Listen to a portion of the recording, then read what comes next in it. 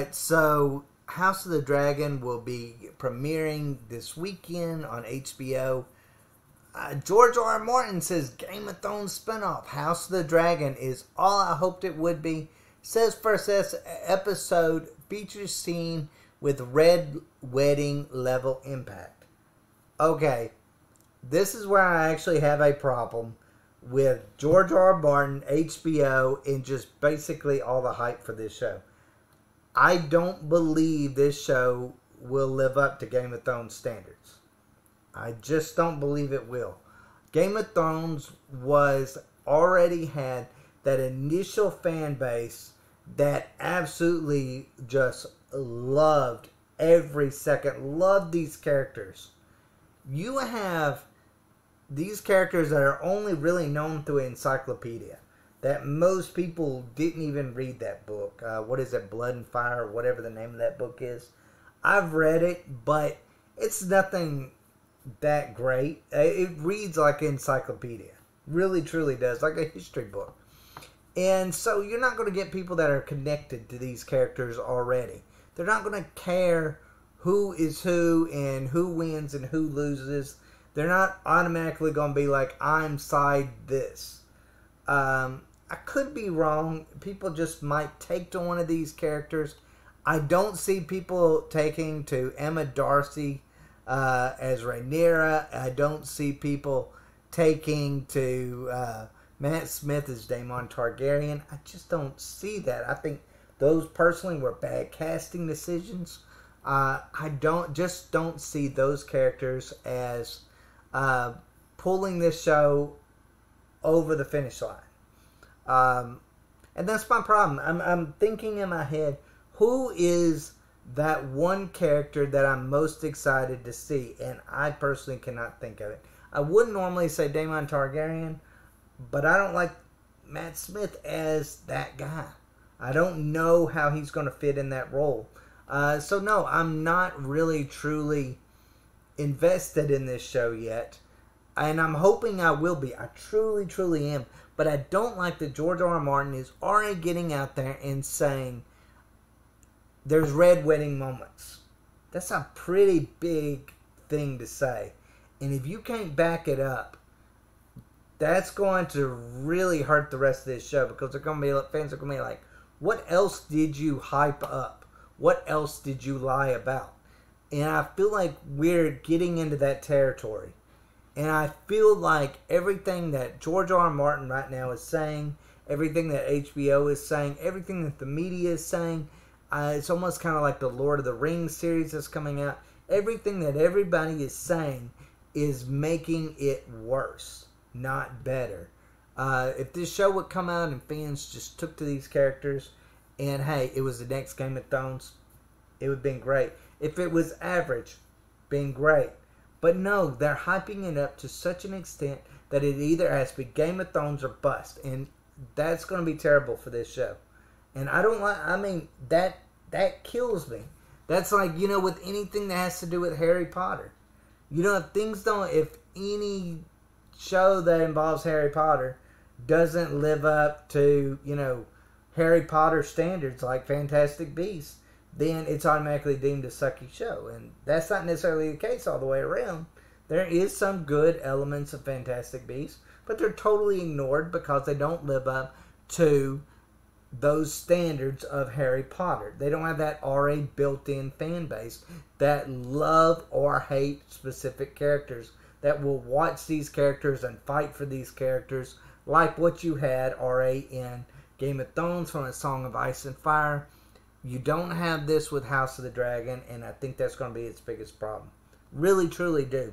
But let's go ahead and let's get into why George R. R. Martin thinks this. Um, it says after watching the entirety of the Game of Thrones spin-offs for first season, franchise creator George R. R. Martin has declared that HBO's upcoming House of the Dragon is not only everything he hoped it would be, but also that his first episode features a scene that delivers an emotional impact on par with one of the original series' most iconic events. After recounting his time dealing with recovering from his recent San Diego, blah, blah, blah, blah. We'll just go through that. Ryan Condal and Miguel uh, Sapochnik and their amazing cast and crew have done some magnificent work, he opined.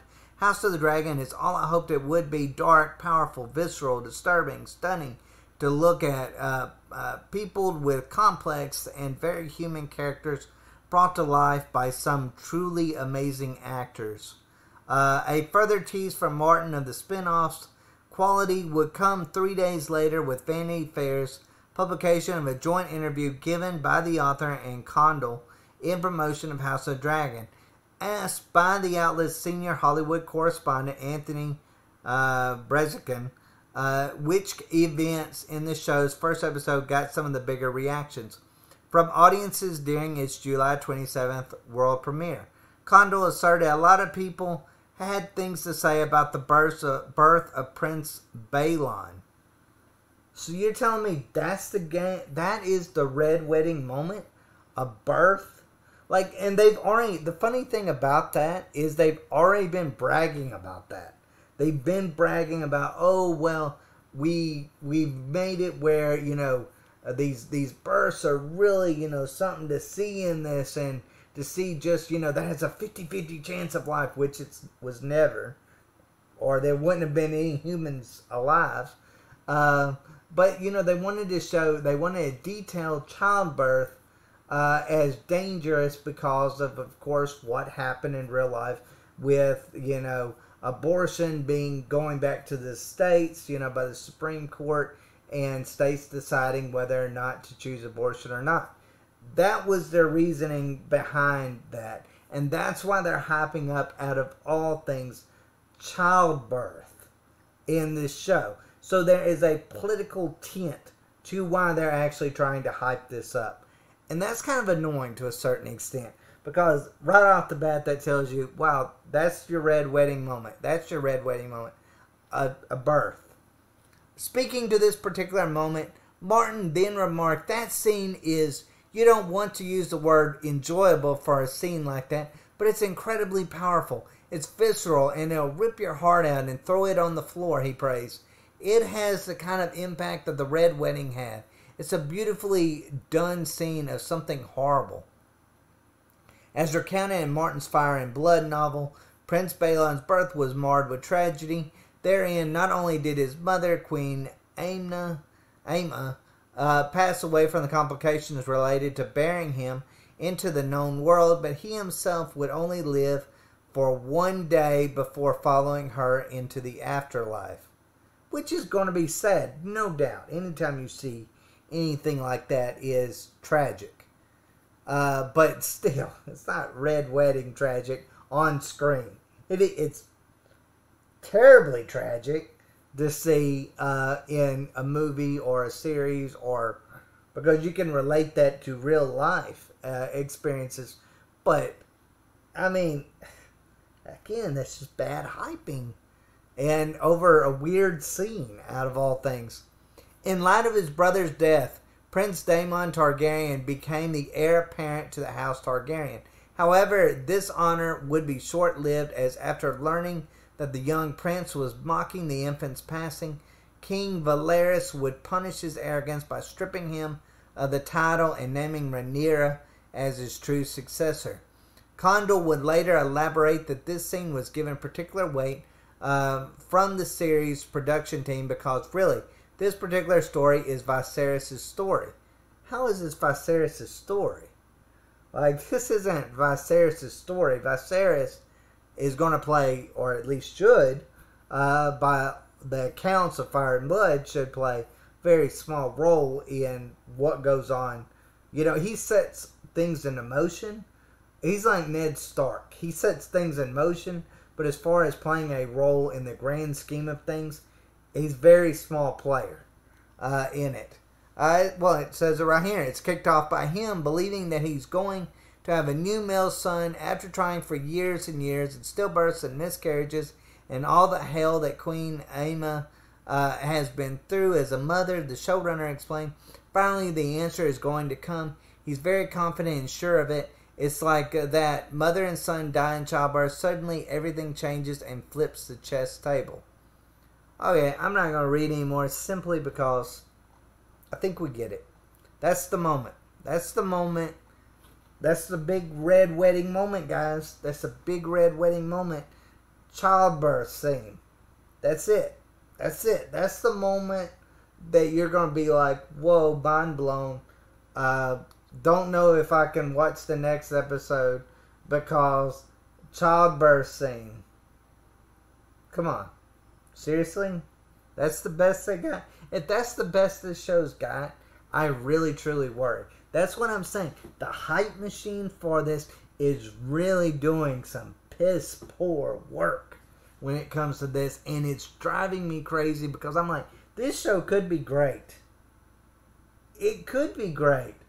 But man, when you keep saying it's going to be like the best thing since sliced bread, it's the best thing since Game of Thrones, you started comparing it to like legendary series.